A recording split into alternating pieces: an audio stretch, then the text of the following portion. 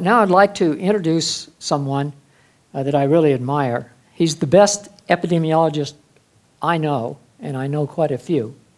With respect to his training, he's actually trained as an epidemiologist rather than an economist or an engineer.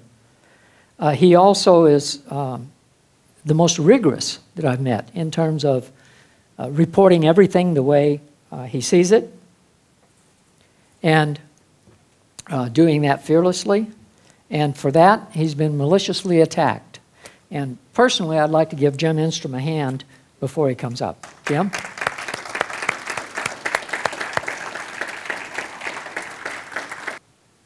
Thank you, Bob. I uh, really appreciate your kind words and the fact I'm able to share this presentation with you. Tremendously accomplished air toxicologist. Um, I'm particularly proud to speak at the DDP meeting on the 50th anniversary of the Apollo 11 moon landing, which was a triumph of honest science and engineering during the Cold War that made all Americans proud. In 1969, I was finishing my rigorous PhD in physics at Stanford, and I had the goal of using the scientific method to make discovery that would benefit the world. I could not imagine that 50 years later, I would be giving a lecture on pseudoscientists who have totally corrupted science in the area of air pollution epidemiology. I will focus on the corruption associated with the major epidemiologic study used to claim that fine particulate matter causes premature deaths. And I will also uh, suggest ways to restore the scientific integrity to air pollution science and regulations. If you look at the first uh, slide, it basically reviews a couple of the points that Bob made. Um, PM 2.5 comes mainly from combustion. Uh, the EPA established the 1997 National Ambient Air Quality Standard for PM 2.5 as 15 micrograms per meter, cubic meter. Uh, it then lowered it to um, 12 in 2012. And it's based largely on one 1995 uh, American Cancer Society secret science epidemiology claim that PM 2.5 causes premature deaths in what is known as the Cancer Prevention Study 2 cohort. And this uh, quality, air quality standard has been used to justify many of the major EPA regulations that have multi-billion dollar economic consequences uh, in the United States, particularly in California. And I list a number of the different rules. My calculation of the inhalation of PM 2.5 is consistent with Bob's. I calculate about uh, the US adult uh, now inhales about one gram of PM 2.5 in 80 years and I won't go through the calculation in general, but it's based on um, average exposure, which right now in the United States is estimated at 8.4 micrograms per cubic meter. And um, this is a trivial amount over a lifetime. I'm going to do uh, Jay Lehr one better. My monitor uh, covers both PM 2.5 and uh, Uh, CO2, and right now it is reading the dramatically high number of 1.30 micrograms per cubic meter. That's far below the EPA standard. In fact, the daily standard is 35 micrograms per cubic meter. So we're all safe in this area. There's no known health effects at 1.3 micrograms per cubic meter. Okay, key reasons why uh, PM 2.5 doesn't cause premature deaths. First of all, there's no etiologic mechanism that uh, shows through experiment or otherwise that inhaling one to five grams of PM 2.5 um, causes death. First, the, second, there is no strong association in epidemiologic studies. These associations violate all the standards, normally called the Hill standards, for establishing a causal relationship in epidemiology. They're tiny relative risks that have just been used by the activists to claim an effect because they're generally above 1.0. Third is um, ecological fallacy, where monitors are used to assign to millions, or in many cases um, less than that, but to certainly to all the people that live in a certain city or county, one specific value that's associated with a monitor. But as I just showed here, um, if you actually look at monitors that are next to you, they don't necessarily show anything about a monitor that's located out by a freeway. Um, and uh, fourth is a reason that I was able to gain access because of my uh, long association with the American Cancer Society, which started my career in epidemiology back in 1973, that reanalysis and transparency yield no effect in this seminal study, this 1995 study. I'll go into that a little more uh, during the talk. Next is if you actually look at the totality of the existing evidence in the United States, there, are, there is no effect. Uh, this is contrary to the claims that are in the EPA report of 2009 and, and the other activists. I'll also review that. So the focus of my talk is on the, um, the American Cancer Society Cancer Prevention Study 2. And this uh, has been controversial ever since it was published in 1995.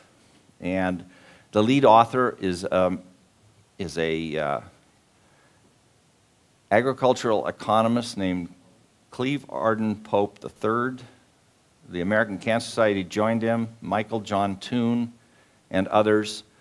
And it's based on their analysis of data which they never released uh, from this cancer prevention study, too. Um, this was reanalyzed by a Canadian group led by Krewski um, in 2000 by the Health Effects Institute.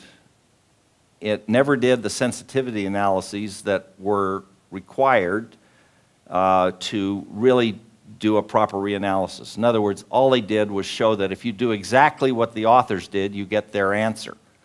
Uh, but you, it doesn't show uh, what happens if you try alternative methods of analysis. And they followed this uh, up with a 2009 HEI report, which expanded on the data that was originally published in 1995. Again, they didn't address any of the criticism that had arisen by 2009, which included my publication in 2005. Um, very unprofessional. Um, in March of 2017, I published a major reanalysis after I had gained access to the CPS2 data, a very old version of this data, but enough to make some uh, reasonable reanalyses. And this showed that there was no effect if you used the best available uh, PM 2.5 data and you used all the information that was contained in this CPS2 cohort. I followed that up with another paper in May of 2018, which added more evidence and showed that, that they really knew a lot about this in the 2000 uh, reanalysis, but they didn't actually analyze these alternative um, methods, and they didn't state that there were these kind of differences. This is just a quick summary of the findings in my 2007 paper. Um, it's a little dense to go over right now, but the point is uh, if you use different uh, types of um, data, in fact, one that's called the inhalant, Inhalable Particulate Network set up by EPA, done by a scientist named Hinton, you come up with no effect, 1.02, where 1.00 is no effect. If you use data that's actually contained in the 2000 reanalysis report but not used, that's the second line down, you come up with the exact same answer, 1.02. But if you use the data that was used in the 95 paper and was the only data that was used in the reanalysis, that's called the HEI values, um, you come up with a positive effect, 1.08. And uh, there's also additional analyses if you break down the effect by the Ohio Valley or the rest of the United States. Separately, you get no effect using any, any of the different PM2.5 data. So there are major problems in the claim that there's any effect in this cohort.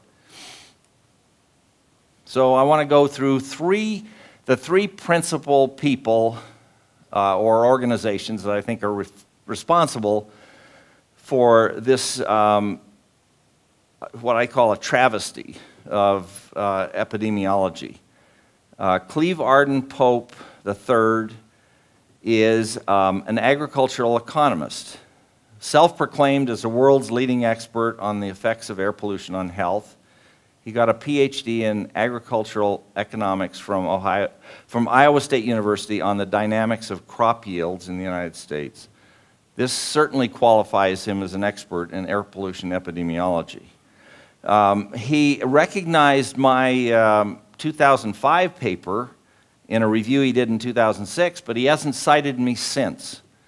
Uh, and we had a major teleconference in 2008. We had a major conference with, with uh, six uh, scientists on both sides of the issue that was in Sacramento in 2010. Uh, that resulted in no, uh, no action by the people that disagree with us. Uh, then um, uh, there was defiance of the 2013 House Science Committee subpoena that was requesting this underlying CPS2 data. There was another paper published in 2013 which um, omitted many of the null results in California that, um, and obscured them and then uh, he's refused multiple invitations that I've made um, over the last four years to come to conferences and uh, debate me or present evidence that I'm wrong. And uh, he's refused to confirm or refute my um, 2017 findings. In fact, his response was study by Enstrom does not contribute. Now, if that's not an unprofessional response, I don't know what is. So I basically just don't exist in his mind. I'm not, he's not going to claim I'm wrong, he just complains, I just do not contribute. The other major responsible group is the American Cancer Society, all the way up to the top. The CEO, Reedy, the former uh, recently resigned um, executive vice president, Brawley, the head of epidemiology currently named Susan Gapstur, the prior uh, head, who was the author on the 2000, I mean the 1995 paper, Michael Thun, and their data analyst, uh, Ryan Diver. They've refused to engage in any um, cooperation. They refused the House Science uh, Committee subpoena. Uh, they've refused even to work with us, not even give up the data, but just conduct analyses that we propose. Um, and they um, amazingly have on their website that this is their second proudest achievement that their data is being used for EPA regulations. Of course, their first proudest is the association of cigarette smoking with lung cancer. Totally different category of strength in epidemiology. The third is this supposedly neutral group, um, the Health Effects Institute in Boston, President Daniel Greenbaum and a chief scientist, Aaron Cohen. They selected for the reanalysis a 31 member Canadian reanalysis team, mainly statisticians and geographers, to reanalyze U.S. epidemiology. They didn't select U.S. epidemiologists, which would have been an obvious choice. And in their report in 2000, they didn't conduct the sensitivity analysis, which was part of their uh, mandate. And uh, they didn't use the best available PM 2.5 data, which I went over in a previous slide. And since 2002, they've refused to provide me with essential data that um, showed I was particularly curious about the fact that the cities in California had very low risk. But they never provided me with the data break, broken down by cities. Um, and they have refused to um, address the findings in 2017 that I published.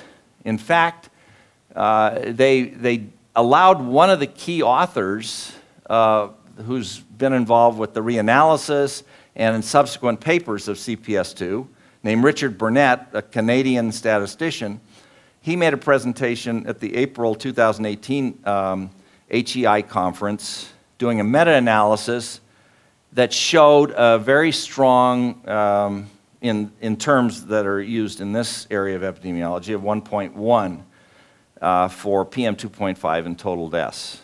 Well, that got me totally outraged because they didn't invite me to give my presentation uh, on data. They just basically uh, continued on now for over two years. Um, now, a lot of this has changed.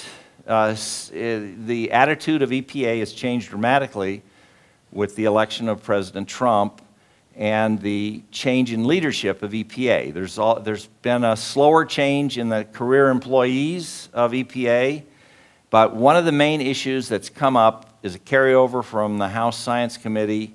It's called the EPA's proposed rule strengthening transparency in regulatory science. And I want to read you a couple of sentences from this uh, proposed rule. This document proposes a regulation intended to strengthen the transparency of EPA regulatory science. The proposed regulation provides that when EPA develops regulations, including regulations for which the public is likely to bear the cost of compliance, with regard to the scientific studies that are pivotal to the action being taken, EPA should ensure that the data underlying those publicly available are publicly available in a manner sufficient for independent validation. That seems completely relevant, completely reasonable, consistent with the scientific method. And it's been uh, attacked viciously. Um, uh, this presentation, following the introduction of that in, uh, a month later, in May of 2018, there was a EPA Science Advisory Board meeting uh, Professor Phalen is on that uh, EPA Science Advisory Board. Um, I submitted comments supporting the importance of this rule based on my uh, access to data that um, shows that there are uh, important differences, that the findings are different depending on, at least in this case, uh, who analyzed the data and what the uh, what the uh, actual uh, PM 2.5 measurements are used, so forth. I also submitted additional comments in August of, this, of 2018 supporting the transparency rule. The um, Harvard um, is so upset about this, they wrote a letter uh, in August of 2018 um, 34 pages written by a lawyer of the law school named Wendy Jacobs, co signed by 96 professors urging withdrawal of the proposed EPA rule. Uh, making claims such as the proposed rule does not serve its stated purpose to ensure that regulatory decisions are based on valid science. The rule will jeopardize the health and safety of infants, children, and adults in the United States and beyond. This was signed by the highest officials uh, at the uh, Harvard, the president, the dean of the, the Harvard uh, T.H. Chan School of Public Health, the dean of the medical school. There's four professors involved with seminal research on the claims of PM 2.5 deaths uh, Laden, Dockery, Dominici, Schwartz. And most troubling of all is the name Eric Rubin. Eric Rubin will become the new editor of the New England Journal of Medicine in September, and he does not believe in transparency. Uh, this is shocking. I mean, uh, I've never been able to get anything other than letters in the New England Journal, and it's not going to get any better under Rubin. I had a group of UCLA um, graduates and graduate students who had formed a, a sort of consulting um, enterprise called Intrepid Insight do a statistical review of competing findings in fine particulate matter and total mortality. I basically gave them Burnett's presentation that he made at the HEI conference in April of 2018 and um, made sure they had all access to all the underlying data. They, um, they did a tremendous job for, a, and this is, uh, we're talking people that don't have any more than a, than a master's or bachelor's degree. And um, they uh, made a statement about uh, data transparency. And this is all on their own. Um, I have no uh, authority over them. I know a couple of them, but I don't have any authority over them. All nine of these directors and contributors voted to support data transparency as a principle. And because the Pope 95 paper is used to support public policies, there's an even greater justification for releasing the underlying data in, in that study, the CPS2 data. Uh, they, they conducted meta-analysis of eight U.S. cohorts and six California cohorts. I summarize these quickly here. Um, they're um, a variety done uh, by different authors, uh, but several of them are done at the Harvard School of Public Health, which has been an activist on this and published the first paper in 93, the, the famous Dockery paper, Dockery and Pope. Um, they come up with findings of the ratio. Just, these are just the published numbers that are in these papers. And um, it comes up with a ratio, if you used uh, fixed effects, it's 1.2, 1.02, and if you use random effects, which applies here because the results are scattered, you come up with 1.01, not significant. So even published data, aside from all the limitations that exist, show no effect nationwide for eight cohorts. There's another controversial cohort that came out of the Harvard study that I have not included here because there's, there's con conflicting results from that study. Um, then uh, the six cohorts in California, including the one I published in 2005, um, show that it comes out exactly at 1.00 or 0.999. And because the results are so similar, the fixed effects and random effects yield the same result. What I've done now, uh, quickly to go through these, uh, the professors in California have, in my view, been the main source of the problem. And I've put together a sequence of emails and telephone calls to a number of faculty members at USC, and uh, they've all been non responsive. And uh, they are part of the uh, effort. Uh, one of these professors organized uh, Burnett's analysis at HEI, didn't invite me, even though I have um, known this person for many years. Um, so we are zeroing in on what I think is the source of the problem. That is, uh, professors who would rather engage in activism than honest science. This is important because they were proposing, the regulatory agency is proposing a sales tax. It's called the SB 732 sales tax that would apply to everybody in Southern California for more regulations that aren't scientifically justified. This was written up by an investigative journalist in April um, this year, Katy Grimes, on her publication called California Globe, and it's called A Totally Different USC Scandal. There have been a number of scandals now at USC for the last few years, most of them emanating from the medical school. Uh, and this is very troubling. This group of investigators has received, from the, based on the information about their funding, something on the order of half a billion dollars during the last 25 years. My claim is they've misused this to exaggerate the health effects uh, in uh, air pollution in Southern California that's then been used by the regulatory agencies to impose scientifically unjustified regulations. And I've gone up to the top at USC, and they're not willing to do anything. They don't think anything inappropriate's been done. So this is just going to have to be decided by the general public.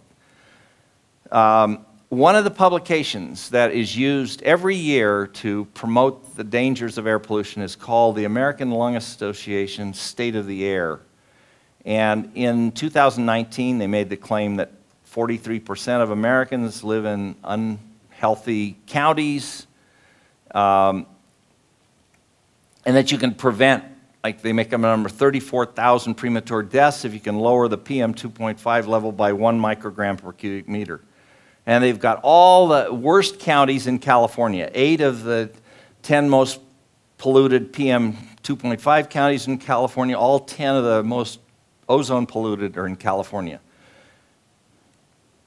And what I did is I looked at the citations in this publication, comparing the 2010 version, 2019. You look at the same names of these investigators, the main people that promote the health effects are the ones that are cited. And you see it's grown from 2010, 69 citation to 138. And for the USC professors, it's grown even more from 26 to 81. And so the, citations are all by the activists. If you look at the citations of critics, like myself and Professor Phalen, we're still at zero. Zero citations. So this publication has no uh, credibility, in my view, and yet it's given, um, you know, it's distributed all the newspapers and so forth every year. But that's how biased the situation is. Um, this is an editorial that came out in April, uh, April 25th, and they're weighing in, and they're upset that uh, folks like us and that EPA, the new EPA, are questioning this. They title of this uh, editorial is Stop Denying the Risks of Air Pollution. Research linking fine particulate pollution and premature deaths is under attack in the United States and other countries. And they're upset at this, but then they don't give, they don't give authors like myself a chance to publish. Why? And so we have a very uh, accomplished and fair minded new head of the EPA uh, Clean Air Science Advisory committee. His name is Louis Anthony Cox Jr. Um, he submitted a Nature uh, letter that responds to their editorial, and he makes a number of important points. Sound science entails use of clear definitions, explicit derivations of conclusions, reproducible tests of predictions versus observations, and careful qualification of causal interpretations and conclusions to acknowledge remaining ambiguities, and so forth. He also wrote another paper about communicating deaths more clearly. That came out in April of this year. Tremendous guy uh, that is going to work on straightening out the way EPA inter interprets evidence.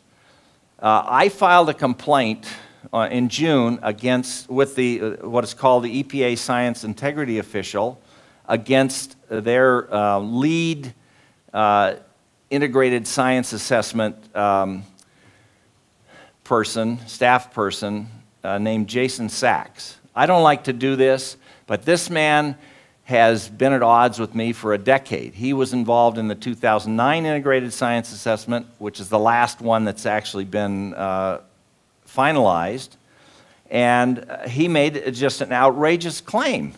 Uh, collectively, um, this body of evidence is sufficient to conclude that a causal relationship exists between PM, long-term PM 2.5 exposure and total mortality. This is after a decade of evidence, which I summarized above in the meta-analysis, showing no effect. There's absolutely no effect. It's not uh, a question of a small effect being possibly causal. There's no effect. So we'll see if we get any response back on that.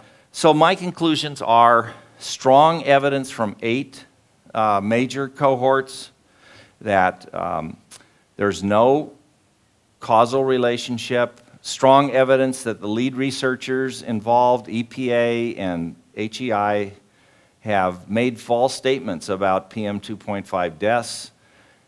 The EPA must adopt this rule strengthening um, transparency and regulatory science. There will probably be some movement on this in the coming months, from my understanding, that it probably will be adopted over the objection of all the activists. Um, the rule must be used to finalize these assessments, the ongoing assessment of PM 2.5 and the next reassessment of ozone.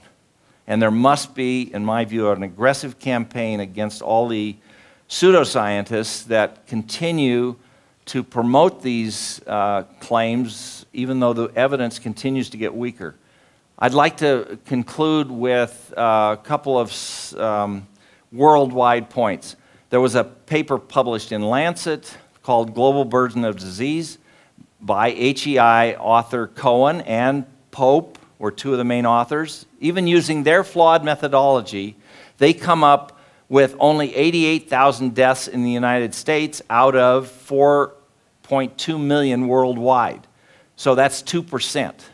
And so even they concede that most of the problem is in uh, China, India, and Africa, which is reinforced by this uh, satellite map. This is done by the World Health Organization. I didn't have anything to do to preparing this map. And you can see that the red is in uh, Africa, India, and China, and the United States is, is basically blank. So this is a important thing. In other words, why are American scientists focusing on grinding down on regulations in the United States when this is a worldwide problem in other countries? And my last slide, in many ways, is the most important. And people uh, must realize this guy. He uh, is very smart. He's been the president of the People's Republic of China for six years. He's 66 years old. And recently, they declared him president for life. And his, um, I think, role model is Mao Zedong. And he doesn't care about air pollution. He just assigns his citizens gas masks and say, let's take as many of those American jobs as we can, and then we'll uh, manufacture them with gas masks, and we'll send the products back to the United States and let them uh, put all their citizens out of work. So this is where you have to put some balance and perspective on this issue. And hopefully, uh, you know, ideally, I'd like to get some support from people in this room. There are already a number of people uh, that uh, are helping. But the more support we can get, the faster we can change this around. And I think it really is changeable, uh, given the current administration and the evidence that shows this is not a problem any longer in the United States. Thank you very much.